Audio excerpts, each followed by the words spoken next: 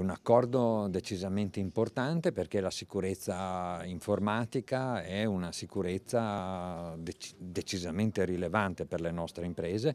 E noi ci si accorge diciamo, di, del valore della sicurezza quando perdiamo questa, questa condizione di, di, sicurezza e ci troviamo con delle esfiltrazioni di dati oppure con l'impossibilità di usare i nostri server la sicurezza informatica ci siamo resi conto soltanto dopo, con il valore del dato, quanto sia importante e abbiamo connesso la sicurezza informatica, no? cioè l'ingresso, l'hacker e l'abbiamo connessa alla sicurezza del, del business.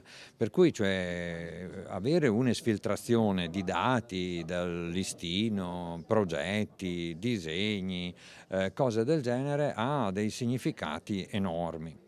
La connessione tra uh, cyber security e eh, sicurezza in termini general generici, ovvero costruire del, dei progetti di sistema informativo eh, che tengono conto della sicurezza è la chiave fondamentale. Ecco perché abbiamo parlato anche di formazione. E, ehm, di social behavior, ad esempio se lei davanti alla porta della sua macchina trova una bellissima chiavetta USB, le, le viene spontaneo no? inserirla nel suo PC, potrebbe essere l'inizio della fine rispetto, rispetto a, a, questa azione maldestra